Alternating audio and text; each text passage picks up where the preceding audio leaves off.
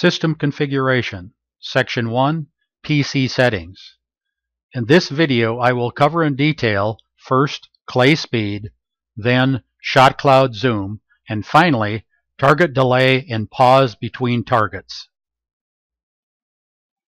Clay speed Clay speed is a feature used in the version 4 software that will allow you to slow the trajectory of the target down on the wall to as much as 10% of its normal speed, or it can go to 500% of its normal speed.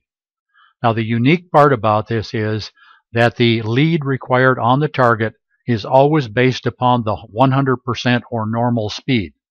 Therefore, it makes it very easy for us to change and practice targets in slow motion, or if you choose, you can practice targets in faster than normal motion, and you're always dealing with the same lead.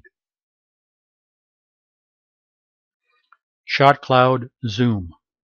I'm going to begin the explanation of the purpose of ShotCloud Zoom by starting with this picture that we're seeing on the computer screen, which shows a shot taken at 33 yards and the shot cloud zoom was set to 100.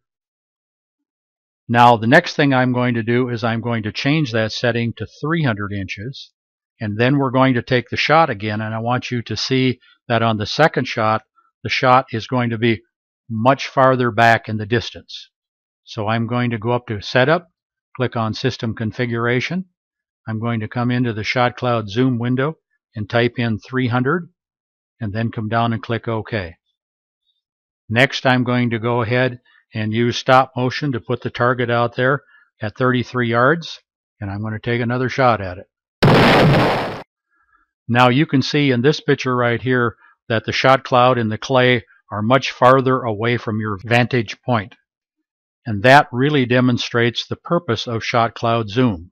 The values that you can put into the shot cloud zoom window are as little as 36 inches, which will make the target very close to you, or as much as 500 inches away from you, and it'll be even farther into the distance than this one that we have on the screen right now.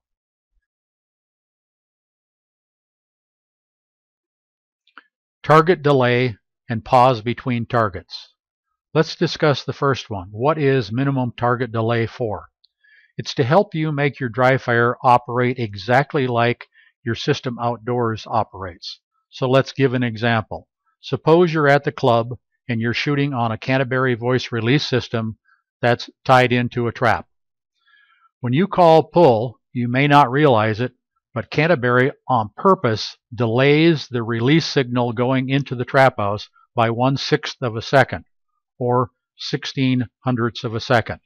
It does this because it tested people and found that the average person in the old days, when someone would call pull, it would take the average person one sixth of a second to get the button pushed.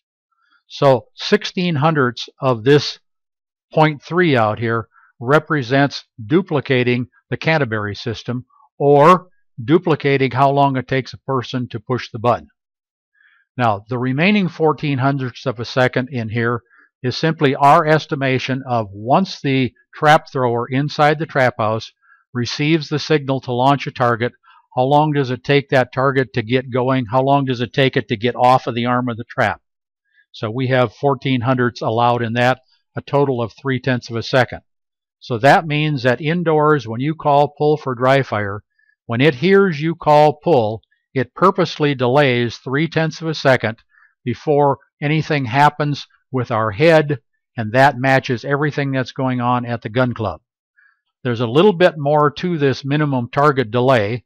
If we click on all delays, we're going to find that there is another dialog box that opens up that not only has what we were talking about, the minimum target delay, but it also has a maximum target delay.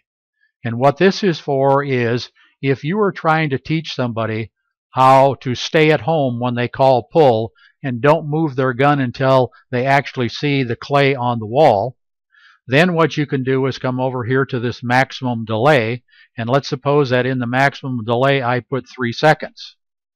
Now the way dry fire is going to work is on a random basis, when you call pull, the target will not be released in less than three tenths of a second, but it may wait all the way up to three seconds before it releases the target.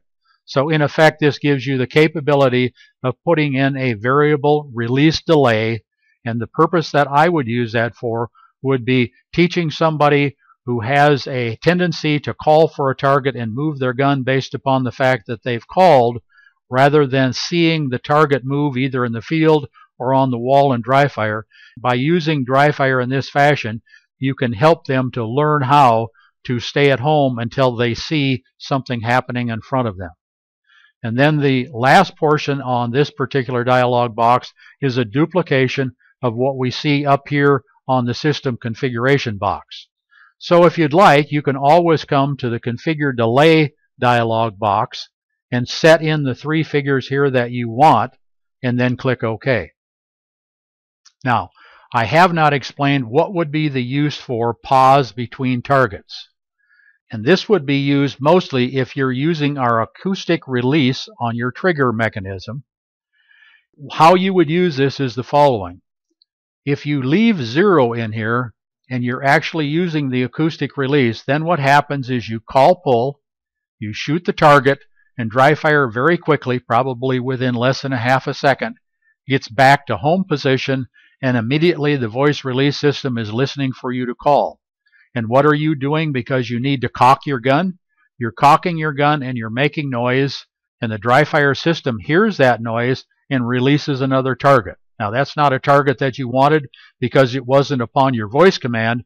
It was because you were making noise.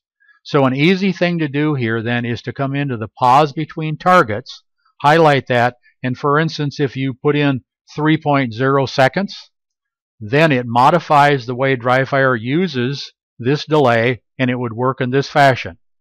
You call pull, you shoot the target, the head very quickly moves back to home position, and then it enters into this three second delay and doesn't turn on the voice release system again until this three seconds is over with.